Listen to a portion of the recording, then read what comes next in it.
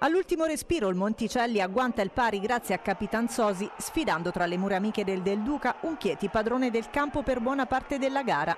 Il Monticelli non vince dal 10 gennaio, è reduce da tre pareggi consecutivi.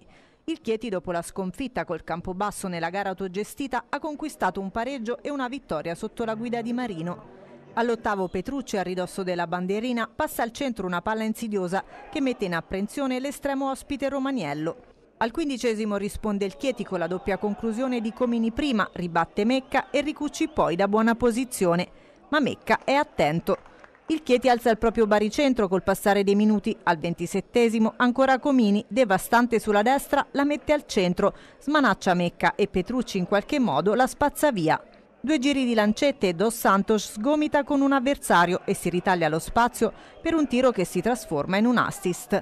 Per nessuno però. Ancora Chieti al 34esimo con Fiore che tenta la conclusione. È bravo Mecca ad alzarla quanto basta sopra la traversa. Nel momento migliore del Chieti potrebbe arrivare la beffa, ma Figliaggi viene murato dai centrali proprio sul più bello. Al 41esimo è Comini ad alzarla troppo da buona posizione su un bell'invito di Riccucci.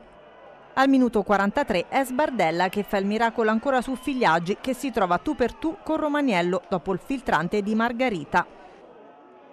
Allo scadere passa il Chieti con Dos Santos abile a battere Mecca con un gran tiro dalla distanza. Al quarto della ripresa il pareggio del Monticelli su angolo di Petrucci. Svetta più alto di tutti i Sosi che di testa batte Romaniello. Risponde il Chieti. Al settimo conclusione di Fiore, Mecca para a terra. Al diciottesimo esce Margarita, entra Galli. Al ventesimo buon tiro di Fiore ma finisce lì. Al 25 ghiottissima occasione per il Monticelli con il colpo di testa di Alievic, ottimamente imbeccato da Petrucci. Decisivo l'intervento del numero uno ospite sulla ribattuta arriva Galli che prende l'esterno della rete. Il Chieti torna avanti al 27 con Adamoli, dormita generale della difesa del Monticelli e alla fine la mette di tacco il centrale difensivo nero-verde. Al 45 Figliaggi si divora il pari Bravo Giosuè a servirlo in profondità e solo davanti alla porta va al tiro, ma la palla si stampa sulla traversa.